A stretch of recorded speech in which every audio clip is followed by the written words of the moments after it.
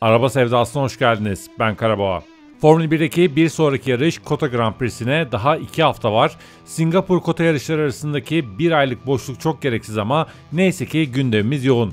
Araba sevdasında bu hafta Formula 1 dünyasındaki iki büyük gelişmeyi, Ricardo'nun ayrılığını ve Renault'un Formula 1'den çekilmesini konuşacağız. Önce Renault ile başlayalım. Bir süredir konuşulan Briatore'nin gelmesiyle iyice artan dedikodular resmileşti.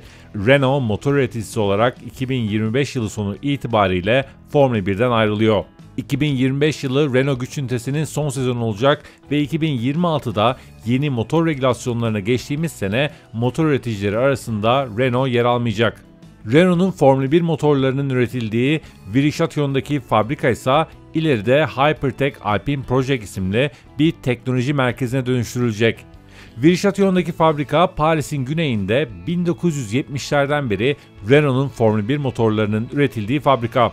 Meşhur V6 turbosu, 90'lı yılları domine eden V10 Renault'su, 2000'lerdeki V8 ile Renault onlarca yıl boyunca Formula 1'in en güçlü, en prestijli ve birçok takımın en çok çalışmak istediği motor üreticisiydi. Tabii bu dev mirastan günümüze sadece hikayeleri kaldı turbo hibrit dönemine geçişin öncülüğünü yapmasına karşın bu dönemde yaşadıkları facia, Red Bull'da yaşanan sorunlar, müşteri takımının kalmaması, geçmiş hataların tekrarı, kötü yönetim ve nihayetinde Formula 1'in en köklü üreticilerden birinin sonu. Renault fabrika çalışanlarının yoğun protestoları dahi karara engel olamadı. Fabrikadaki çalışanlar işlerine devam edecek olsalar da bu mirası korumaya, bu karara engel olmaya çalışıyorlardı. Luca De Meo ile yapılan son görüşmelerden de bir sonuç çıkmadı ve Renault 2026 yılı itibariyle motor üreticisi olarak Formula 1'de yer almayacak. Fabrika artık Dünya Dayanıklılık Şampiyonası Hypercar programı ile birlikte Formula E ve 2025'ten itibaren Dakar Rally'sine odaklanacak. Alpine Formula 1 takımı ise bir fabrika takımı olmaktan çıkıp bir müşteri ve yüksek ihtimalle Mercedes müşteri takımı olarak yoluna devam edecek. Aston Martin Honda ortaklığının hayata geçmesiyle 2026'da Mercedes bir müşteri daha alabilir durumda olacak. Geçtiğimiz sene yapılan hisse satışları, Briatore'nin gelişi, gönderilen takım patronları ve üst yönetimdeki problemler sebebiyle geçen seneden beri Alpine Formula 1 takımının satışa hazırlandığı ihtimali üzerinde konuşuyorduk. Ve Renault motorunun da çekilmesiyle bu ihtimal daha da güçlenmiş oldu. Renault çok güçlü bir Formula 1 tarihi olmasına karşın bu tarihinden ders çıkarmakta bir hayli zorlandı. Formula 1 ile ilişkisi hep çalkantılı ve hep inişli çıkışlı oldu. Renault'un kendisine koyduğu hedeflerse fazla hayalperestti. 2016'da Renault kendi ismiyle fabrika takımı olarak geri döndüğünde en önde mücadele etmek için 5 yıllık plan yaptıklarını söylediler. Sonra 2021'de ismi Alpine dönüştükten sonra ise bu sefer şampiyonluk mücadelesine dahil olmak için 100 yarışlık bir plan yaptılar. Bu gerçekçi olmayan sadece yönetim kuruluna güzel bir sunum için yapılan planlar tabii ki fiyasko ile sonuçlandı. Tarihiyle gururlanmak kadar ondan dersler çıkarmak da bir hayli önemli. Renault'un bu zirve planlarının 40 yıl aşan bir geçmişi var. 70'lerin sonunda 1.5 litrelik turbo şarjlı motoruyla Formula 1 tarihinde yeni bir dönem başlatmışlardı. Fakat ilk zamanlarda yaşadıkları dayanıklılık problemleriyle Paddock'un alay konusu haline gelmişlerdi. Buna rağmen Renault çalışanları sessiz sedasız bir biçimde işlerine odaklanıp dayanıklılık problemlerini çözmeye odaklandılar ve gerçekten de bir devrimin öncüsü oldular. O günlerde de gün geçtikçe turbo şarjlı motorun yeni bir çağı başlattığını diğerleri de fark etmeye başlamıştı. 79'da gelen ilk galibiyet hem de Fransa Grand Prix'sinde gelen galibiyet üst yönetimde beklentileri bir hayli arttırmıştı. O sezon sadece 6 yarış bitirebilmiş olmalarına rağmen 1980'e geldiğimizde üst yönetim bir anda şampiyonluk hedefinden bahsetmeye başladı. Ancak dayanıklılık problemleri devam ettiğinden bu mümkün değildi. Jean-Pierre Jabot'un ayrılığı, Alain Prost'un gelişi ve sonrasında 83'te gerçekten de şampiyonluk mücadelesine dahil olmuşlardı. Fakat takım içerisindeki iki Fransız sürücünün kavgaları, garajın ikiye bölünmesi ve geliştirimlerde geri kalınmasıyla şampiyonayı ikinci bitirdiler. Sonrasında ise bu problemleri dile getiren Alain Prost'la yollara ayırdılar. Ardından da birkaç sene sonra Formula 1'den fabrika takımı olarak çekilmişlerdi.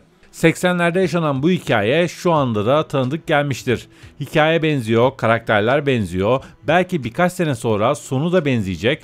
Formula 1 takımlarının hatta tüm büyük şirketlerin problemi aynı. Şirketini değil kendi pozisyonunu korumayı önceliklendiren, başarıları sahiplenip başarısızlıklarda günah keçisi arayan ve tek derdi yönetim kurulundan şirin gözükmek olan yöneticiler. Gelelim gündemin diğer büyük haberine. Bir başka sürücü değişikliği haberi. Geçtiğimiz hafta resmileştikten sonra konuşuruz demiştik ve nihayet resmileşti. 2024'ün kalan yarışlarında RB takımında Ricardo yerine Liam Lawson yarışacak. Formula 1'de çok sürücü ayrılığı gördüm, sezon ortası sürücü ayrılıkları da gördüm. Daha yeni Sargent'ı gönderdik. Ancak bu kadar kötü yönetilen, duygusuz, rezil bir ayrılık görmemiştim. Red Bull süreci o kadar kötü yönetti ki Ricardo'nun daha en baştan o koltuğa oturmaması gerektiğini savunan biri olarak ben dahi karardan çok rahatsız oldum. Çünkü bu temelinde sportif bir karar değil. Red Bull içindeki güç savaşının bir politik hamlesi. Helmut Marko'nun Nick de Vries kumarının tutmamasının ardından Christian Horner Ricardo kumarı oynamıştı ve o da tutmayınca Singapur Grand Prix'sine geldiğimizde Helmut Marko buna Ricardo'yu göndererek cevap verdi. Ve Ricardo tüm bu güç savaşı içerisinde bir piyon konumuna düştü. Beni rahatsız eden şey de tam olarak bu. Ricardo için koltuğunu sezon ortası kaybedecek kadar kötüydü diyemem. Sargent için diyebiliyorduk. Örneğin Williams Sargent'ı gönderdiğinde kimse Sargent niye gitti diye sormadı.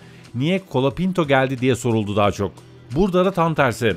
Liam Lawson RB'deki koltuğu hak ettiğini bize geçen sene göstermişti. Red Bull her ne kadar Yuki Tsunoda'ya birinci takımın koltuğunu emanet edecek kadar güvenmese de onun güçlü bir referans olduğunun farkında ve Liam Lawson'ın geçen seneki 5 yarışlık performansı Yuki'ye bir hali yakındı. Örneğin Ricardo'dan çok daha yakındı. Hatta bazı yarışlarda daha iyiydi. Ve ben de sene başı tercihin Liam Lawson olması gerektiğini düşünüyordum. Ancak Horner Ricardo'yu seçti. 2024 sezonuna da Yuki çok ezici bir üstünlükle başladı. Özellikle sezonun ilk 8 yarışında Nick De Vries'e kurduğu üstünlüğe benzer bir üstünlüğü Ricardo'ya kurmuştu. Fakat sonra Ricardo toparlandı. Yuki'ye daha yakın olduğu, hatta ondan hızlı olduğu yarışlar ortaya koydu. Ve şu anki duruma baktığımızda evet Yuki halen önde ancak fark o kadar da büyük değil. Ricardo eski dönemleri gibi değil ama McLaren dönemindeki kadar kötü de değil. Araçta daha rahat ettiği kesin sezona Liam Lawson'la başlanması gerektiğini savunsam da Lawson'la sezona başlansaydı Ricardo'dan daha iyi bir iş çıkartırdı diye düşünsem de Ricardo'nun bu sezonki performansı sezon ortası gönderilmeyi hak etmiyor.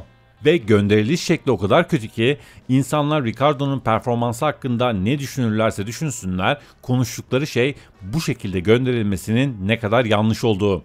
Ve bu geçici bir ayrılıktı değil. Yani Ricardo ile Red Bull bağlarını tamamen kopardı ve önümüzdeki sene bir sürücüye ihtiyaçları olursa Ricardo adaylardan biri olmayacak. Singapur hafta sonu boyunca yaşananlar, Ricardo'nun kendi ayrılığını padoktaki dedikodulardan öğrenmesi, Red Bull'dan kimsenin konuyla ilgili doğru düzgün bir açıklama yapmaması ve hafta sonu boyunca tüm bu süreci Ricardo'nun tek başına yönetmek zorunda bırakılması utandırıcıydı.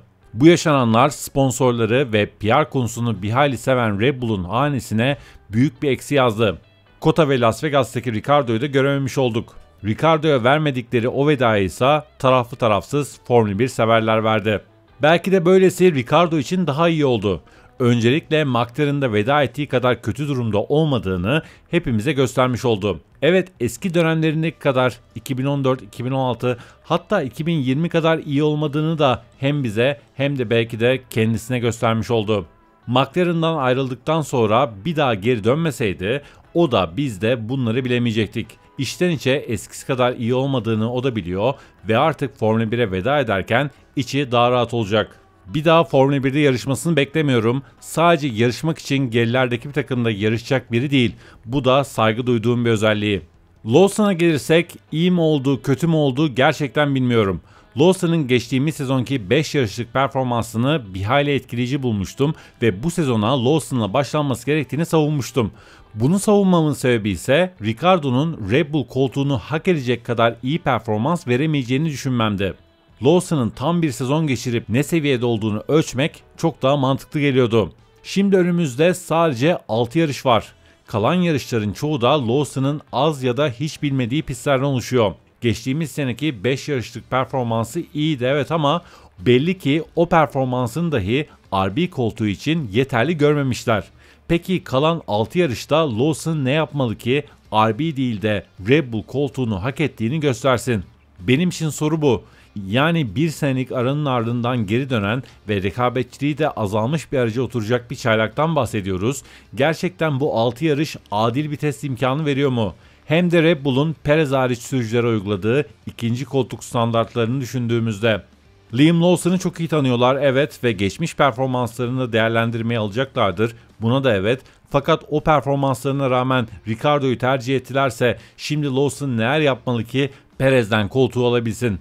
Tüm bu Red Bull politik oyunlarının yarattığı ikinci sürücü problemi Perez'in koltuğunu günden güne daha da sağlamlaştırdı. Yani gelecek sürücünün çok kısa bir zamanda Yuki Tsunoda'yı yenmesi gerekiyor. Çünkü Yuki de Red Bull ikinci koltuğu için yeterli görünmüyor. Ve Lawson çok iyi 6 yarış geçirip gerçekten de Perez'in koltuğunu kapsa o zaman da erken terfi ettirilmiş Albon Gasly sendromu yaşar mı? En azından tam bir sezon geçirme fırsatı olsaydı bu risk çok daha az olurdu. Bu yüzden Lawson sezon başı gelmeliydi. 2025'te çok çetin bir rekabet yaşanacak ve Max Verstappen'le takım arkadaşı olmak zaten başlı başına çok zor bir görevken Red Bull kendi ikinci pilotları için hayatı daha da zorlaştırıyor. Tabii kendileri için de. Şimdilik benden bu kadar. Videoyu beğendiyseniz beğen butonuna tıklayın hatırlatmamızla veda edelim. Tekrar görüşünceye dek hoşçakalın.